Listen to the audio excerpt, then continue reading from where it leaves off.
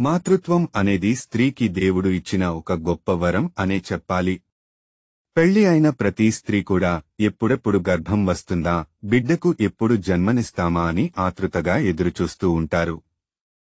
అయితే కొన్ని కొన్నిసార్లు నెలసరి రాకపోయినా వాంతులు విపరీతంగా అయ్యి పొట్టపైకి కనిపిస్తున్న గర్భం వచ్చిందేమో అని అనుకుంటారు.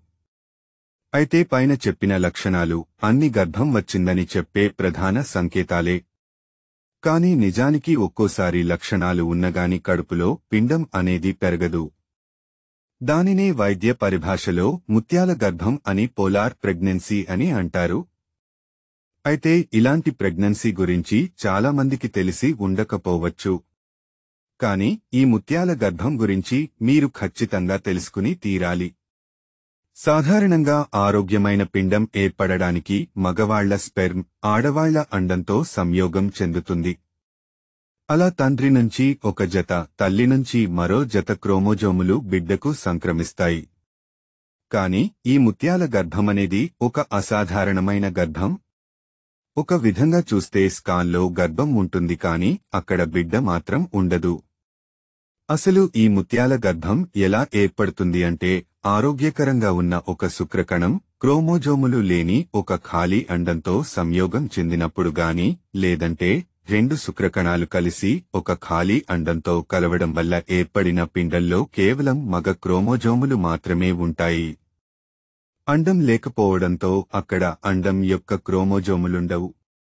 ఇలాంటి పరిస్థితులలో ముత్యాల గర్భం అనేది ఏర్పడుతుంది ముత్యాల గర్భం ఏర్పడితే కడుపులో పిండం బిడ్డలా పెరగకుండా ముత్యాల వంటి బుడగల ఆకారంలో వృద్ధి చెందుతుంది. మరి ముత్యాల గర్భం యొక్క లక్షణాలు ఎలా ఉంటాయో కూడా తెలుసుకోండి. ఆడవాళ్ళ కడుపు బాగా పైకి పెరుగుతుంది. అలాగే విపరీతంగా వాంతులు కూడా అవుతాయి. ప్రెగ్నెన్సీ హార్మోన్స్ అయిన బీటీఏ హెచ్సీజీ లెవెల్ కూడా ఎక్కువగా ఉంటుంది.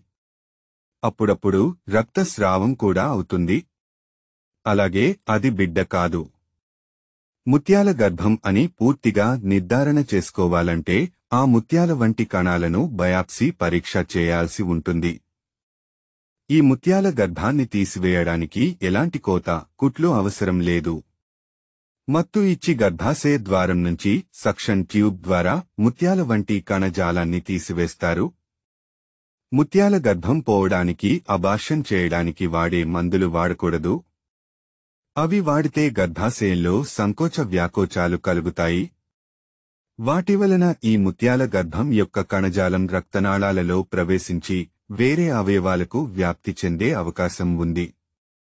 అలాగే ఒకసారి ముత్యాల గర్భం వచ్చి చికిత్స తీసుకున్న తర్వాత మరల గర్భాశయ హార్మోన్ స్థాయి పడిపోయే వరకు గర్భం దాల్చకుండా జాగ్రత్తలు తీసుకుంటే మంచిది.